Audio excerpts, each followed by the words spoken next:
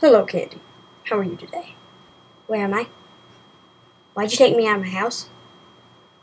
On a scale of 1 to 10, how would you rate Red Wolf 126? Is this, is this a trick question? Hello? Hello? Hello? Just answer. This is a real person. Uh, um, 2? I'm sorry, Candy. That's the wrong answer. Wait, what? What's happening? With me. Oh no. Oh no. Can I try again? Can I try again?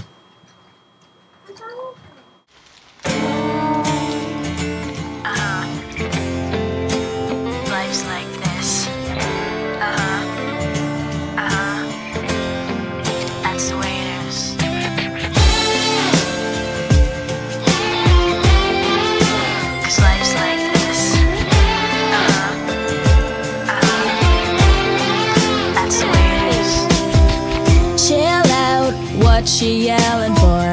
Lay back, it's all been done before.